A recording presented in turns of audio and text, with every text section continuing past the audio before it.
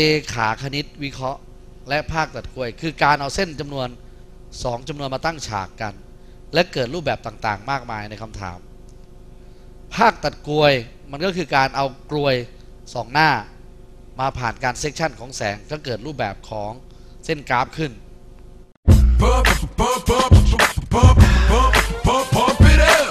คอร์ส ม.4 เทอมนี้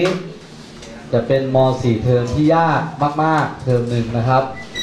เพราะฉะนั้นยากกว่าทุกครั้งที่เราเรียนมา มันเป็นเรื่องสมการล้วนๆ สมการภาคตัดรวย สมการโคนิกเซกชันสมการกำลังสอง สมการกำลังสอง เพราะฉะนั้นปัญหาที่น้องจะเจอก็คือทำการบ้านไม่ทันมัน ถ้าทำการบ้านไม่ทันมันแล้ว มันจะพัฒนาตัวเองไม่ได้ หัวใจของคณิตศาสตร์ม .4 อยู่ที่เรื่องนี้เป็นเรื่องแรก ภาคตัดกลวยโคนิกเซกชันถ้าน้องไม่ค่อยได้เรื่องนี้มันจะมีผลกระทบไปสู่เรื่องอื่น ๆ ในหลายเรื่อง ซึ่งเนื้อหาส่วนนี้ตีไว้ในคณิตศาสตร์ก็คือ 50%ของเอ็นทานคือม .6 ทั้งหมด ถ้าน้องได้เรื่องนี้แต่เดินทางสู่คณิตศาสตร์ระบบสากลได้นะครับ เพราะฉะนั้นเรื่องใดที่ไม่ได้เวลาอธิบาย น้องก็กรุณากระดิกหูขวา ทำไม่ได้ ถ้ากระดิกหูซ้ายแปลว่าเข้าใจแล้ว แต่ใครมีปัญหาเรื่องกระดิกหูไม่ได้ก็ใช้การเปิดหัวเถิกเอาแบบนี้เอานะครับ จะดีกว่า จะได้รู้สัญลักษณ์ว่าโอเคไม่ได้ อีกปัญหาหนึ่งก็คือ การขาดเรียนถ้าขาดเรียนแล้วไม่ได้มาเรียนคาบใด ก็พยายามมาย้อนดูเทปให้ได้นะครับ อันที่สองอันที่สามก็คือความขี้เกียจในการทำโจทย์ มันก็จะมีปัญหาอย่างแรงนะครับ เรื่องแรกที่เราจะเจอกันวันนี้ จะไตเติ้ลให้ก่อนโคนิกเซ c ชันนะฮะโคนิกเซ c ชันโคนิกเซ c ชันก็คือการเอากลวยโปร่งใสนะครับกลวยโปร่งใสมาวางนี่เป็นกลวยโปร่งใส ถ้าเรายิงแสงขนานขนานกับขอบกลวยด้านนี้ มันจะเกิดลายเส้นเป็นเส้นตรงมันจะเกิดลายเส้นเป็นเส้นตรง ลายเส้นเป็นเส้นตรงกลวยเคยเห็นถ้วยนาฬิกาทรายไหมพลิกไปพลิกมานะนะฮะมันกลวยกลวยกลวยไขว้กันแบบเนี้ยนาฬิกาทรายเรายิงแสงไปตามขนาดมันเกิดแนวเส้นตรงขึ้น แต่ทีนี้ถ้าเราเอาแสงมาทำให้เกิดรอยตัดเลี้ยวกระดาษมาตัดเข้าตรงนี้นะครับ มาตัดเข้าตรงนี้ มันจะเกิดรอยตัดของขอบกลวยเนี่ยเป็นรูปถ้วยพาราโบลาคงมองออกว่า ถ้าตรงสมมติว่าตัวนี้มันเป็นกลวยนะครับ เป็นกลวย ถ้าน้องยิงแสงเข้าตรงนี้ตัดเข้าอย่างนี้นะครับ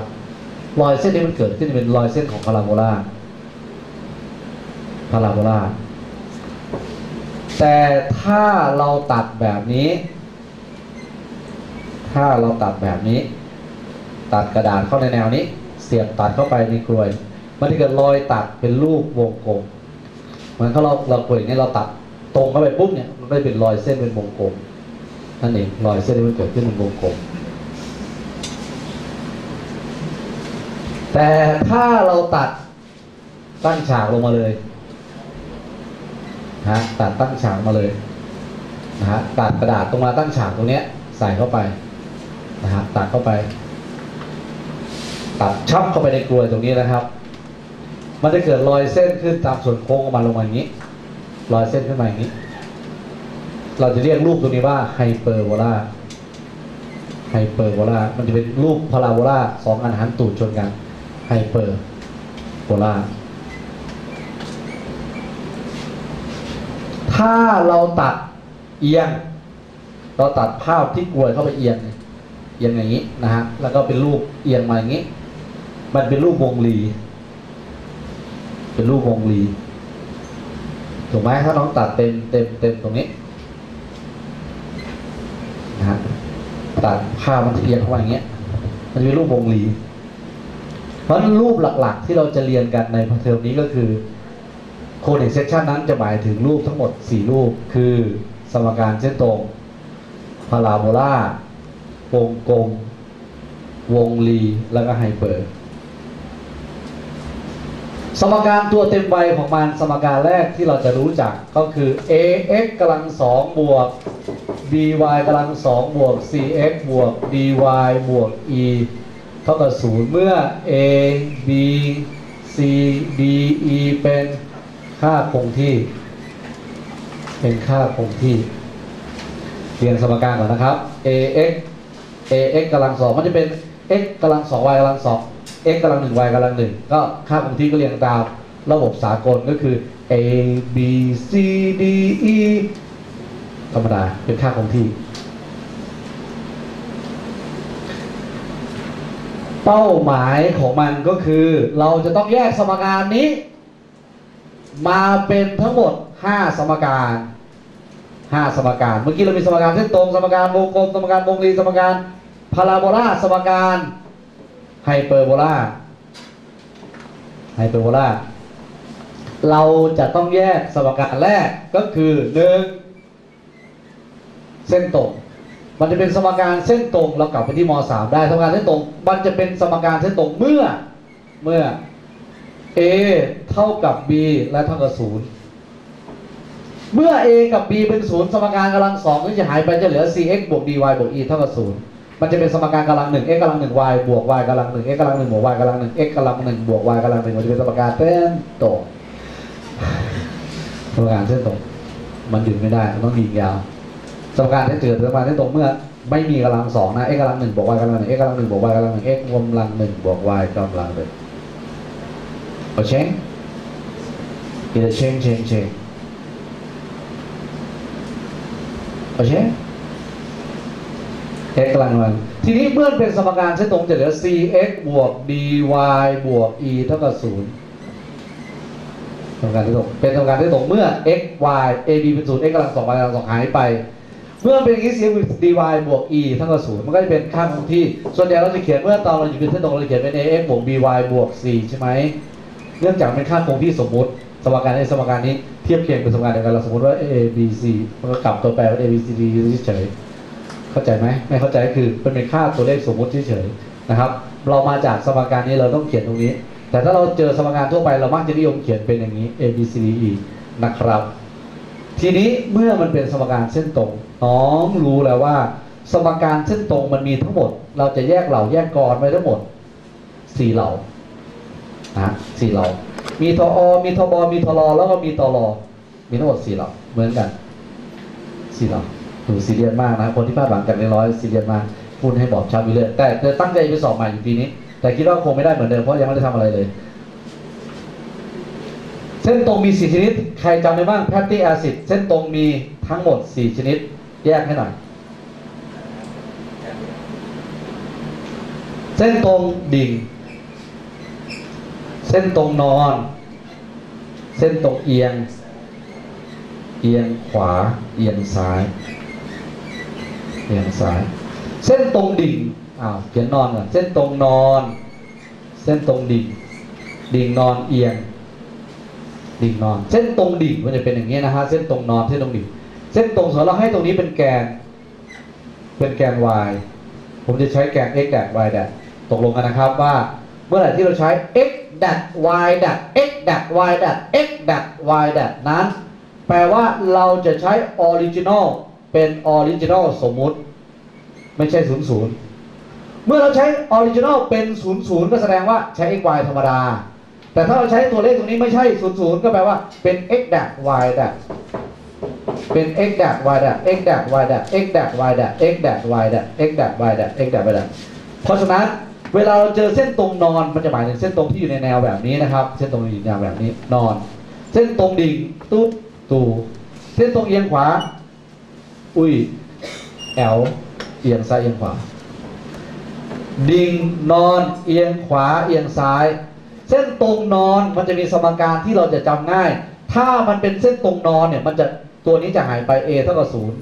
มันจะเหลือ y เท่ากับค่าคงที่ ถูกไหมถ้า a เป็นศูนย์ปุ๊บจะเหลือเป็น c ย้ายไปเอา b ไปหารเลยสมมติเราเป็น k y เท่ากับค่าคงที่จะเป็นเส้นตรงนอนนอน y สมการ น้องอย่าจำสับสนกับแกน y แกน x ไม่ได้ เส้นนอนคือเส้นนอน เส้นคือสมการคือเส้น อันนี้แกน y อันนี้แกน x อย่าจำสับกัน เส้นนอนคือเส้น y เส้นดิ่งคือเส้นดิ่งก็คือเส้นดิ่ง เส้นดิ่งก็คือ เส้นดิ่งก็คือ b เป็นศูนย์ b เป็นศูนย์ตรงนี้ปุ๊บก็จะเหลือ x เท่ากับค่าคงที่ x เท่ากับค่าคงที่ x เท่ากับค่าคงที่ เพราะฉะนั้นถ้ามันมี y ตัวเดียวจะเป็นเส้นนอน ถ้ามี x ตัวเดียวจะเป็นเส้นดิ่ง ดิ่ง x นอน y ดิ่ง x นอน y พี่ท่องพี่แบบนี้ว่าดิ่งคือ x ตัวเดียว เรียกว่าเส้นดิ่ง y คือ y คือเส้นนอนมี y ตัวเดียว y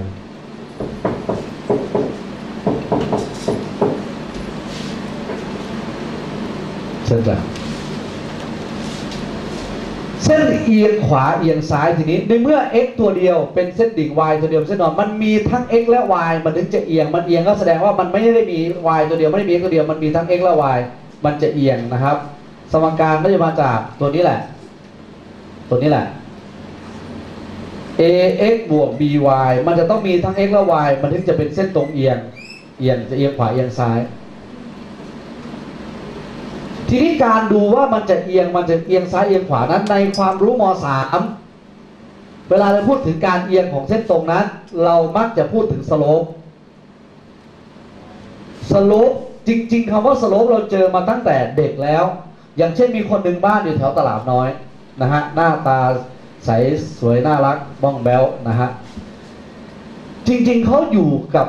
สมการ conic section มาตั้งแต่เด็กเกิดเลย ก็คือคำว่า slope นั้น ภาษาบ้านตลาดน้อยก็เรียกว่าคอยคอยตลาดน้อยคอยคอย slope slope หรือ m slope คือความชัน ภาษาคนทั่วไปเขาเรียกว่าความชันนะความชันนะแต่คนตลาดน้อยเขาเรียกว่าคอยเขาเรียกว่าความชันตลาดน้อยเขาเรียกว่าคอยตลาดน้อย รู้สึกได้ไหมคอยมันลากลงเรียกว่าคอย มันไม่มันเรียบเขาเรียกว่าสโลปเป็นศูนย์มันไม่คอย เหมือนสนามฟุตบอลเนี่ยมันไม่คอยนะมันจะมีคอยทีนี้ในภาษาความชันก็คือว่า ถ้าเส้นตรงนอนนอนนอนนอนนอน ความชันเป็นเท่าไหร่ ความชันมันไม่มันไม่ชัน มันคอย มันไม่คอย มันศูนย์มันไม่ไม่มีขึ้นลง ถ้าเส้นดิ่งเนี่ยเวลามันดิ่งมันดิ่ง เส้นดิ่ง เรามองจน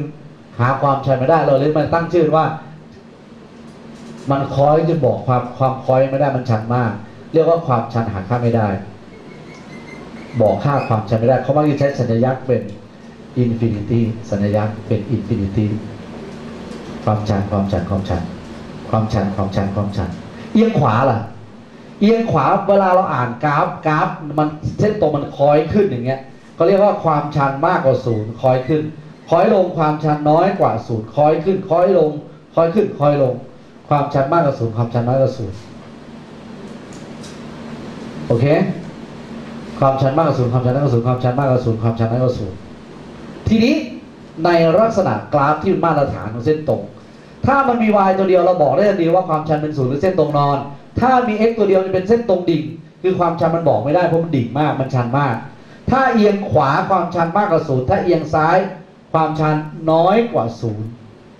อันนี้คือสมการที่ตรง เพราะฉะนั้นเราจะดูจากตรงไหนความชันเที่ตรง เราจะดูจากตรงไหนครับ เราจะดูจากตรงไหนครับ เอาสัมพสิทธิ์หน้า x หารด้วยหน้า y เราเรียกตัวนี้ว่าความชันของเส้นตรง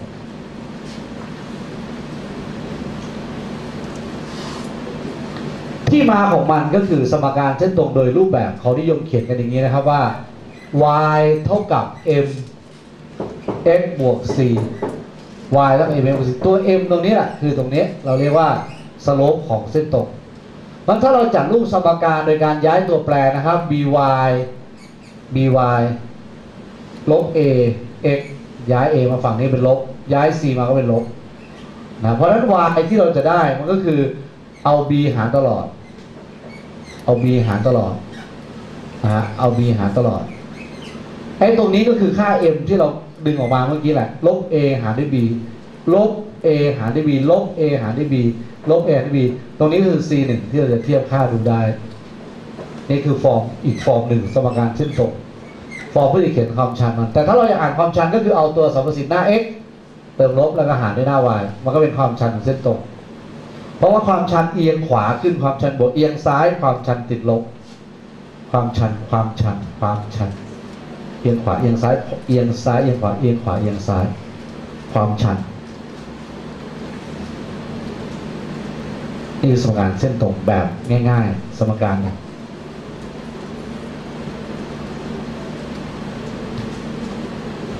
อันนี้คือจะแยกแยกแยกตัวนี้ก่อนนะ ยังไม่คือพางานพาสร้างเพราะนั้นกลับมาสรุปสิกลับมาสรุปต้นฉบับมันบอกว่า ถ้าเราพูดถึงสมการ conic section และสมการ conic section ก็คือ a กำลังสองบวก b บวกกำลังสองบวก c y บวก d บวก e นี่คือสมการมาตรฐาน สมการมาตรฐานนี้แบ่งเป็นรูปทั้งหมดได้ทั้งหมด 5 รูป เส้นตรงพาราโบลาวงกลมวงรีไฮเปอร์ อันแรกจะเป็นเส้นตรงเมื่อไหร่ สมการจะเป็นเส้นตรงเมื่อ a เป็นศูนย์ b เป็นศูนย์หายไปก็จะเหลือ cx บวก dy บวก e แล้วก็ศูนย์มันก็เกิดเส้นตรงแตกแขนงออกมาอีกทั้งหมด 4 รูปแบบ ถ้า x หายไปก็เป็นเส้นตรงนอน ถ้า y หายไปก็เป็นเส้นตรงดิ่ง ต้องมีทั้ง x และ y ก็จะเกิดเส้นตรงอีก 2 แบบคือเอียงขวากับเอียงซ้ายเอียงขวาคือความชันมากกับศูนย์เอียงซ้ายคือความชันมากกับศูนย์ลดลงเพิ่มขึ้น เอียงขวาเพิ่มขึ้นลดลงนะฮะทีนี้ความชันหาไงเอาสัมประสิทธิ์หน้า x หน้า x หารด้วยหน้า y แต่เติมเข้าไปตรงข้างเข้าไปด้วยลบเรียกว่าความชันเส้นตรง นี่คือรูปแบบที่หนึ่งเราเรียกว่าสมการเส้นตรง ท่อง step นะครับ เนื้อหา conic section หนึ่งบท มีสี่บาทสองวรรคนี่มันจะได้ ถูกไหมไม่ถูกหนึ่งบทไม่กี่บาท เด็กเด็กภาษาไทยเด็กคอยตลาดน้อยไม่พูดด้วย a x กำลังสองบวก b y บวก c x บวก d y บวก e เท่ากับศูนย์ a x กำลังสองบวก y กำลังสองบวก c x บวก d y เท่ากับศูนย์ a x บวกบวก c x บวก d y บวก e เท่ากับศูนย์มันจะเป็นสมการพาราโบลาที่เราเรียนในม .4 เอ้ยม .3 มาแหละสมการพาราโบลามันจะเป็นสมการพาราโบลามันจะเป็นสมการพาราโบลาเมื่อเมื่อเมื่อ เมื่อ a หรือ b เป็นศูนย์ a หรือ b เป็นศูนย์แปลว่าจะต้องไม่เป็นศูนย์พร้อมกันนะครับ a หรือ b เป็นศูนย์ a หรือ b เป็นศูนย์ a หรือ b เป็นศูนย์ a หรือ b เป็นศูนย์ a หรือ b เป็นศูนย์ a หรือ b เป็นศูนย์ถ้าเราให้ a เป็นศูนย์ a เป็นศูนย์มันจะเหลือ by กำลังสองบวก cx บวก dy บวก e เท่ากับศูนย์มันจะมีเหลือ y กำลังสองตัวเดียว มันจะถ้า x หายไปใช่ไหมครับ ให้ a เป็นศูนย์ a เป็นศูนย์ก็จะเหลือ by กำลังสองบวก cx บวก dy บวก e เท่ากับศูนย์นะนะซีเกินเท่ากับศูนย์มันก็เหลือแค่นี้ x กำลังสองหายไป ทีนี้มันก็จะเกิดสมการพาราโบลาขึ้นพาราโบลาพาราโบลา